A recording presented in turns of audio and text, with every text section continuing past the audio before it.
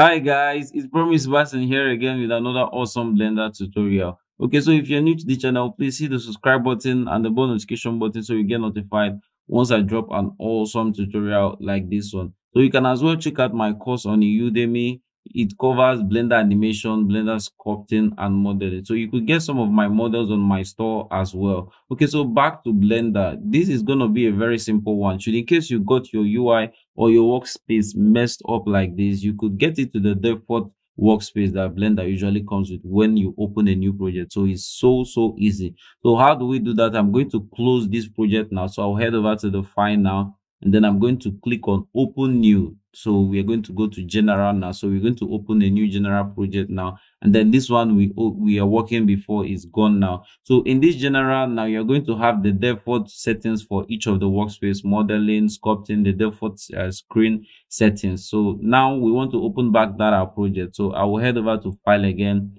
And then i'm going to go to the folder where i saved that file. So now i can i can also open recent now. But if you open recent it's going to open up the project instantly and that is not what you want to do. So now we'll go to the folder where it was now. So we'll click on open now.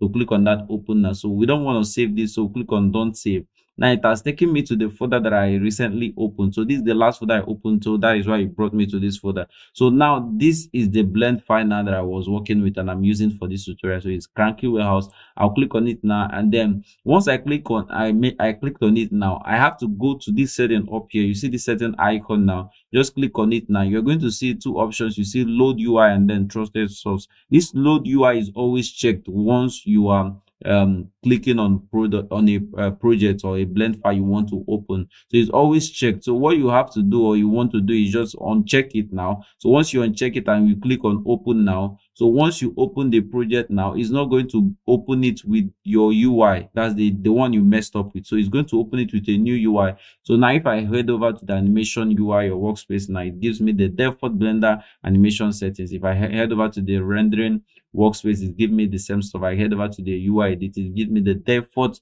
scene settings of the screen settings of any of the workspace. So that is just how to do that. It's so so easy. So thanks for watching. Don't forget to check out the course and then the model as well. Okay so thanks for watching. Once more see you on my next tutorial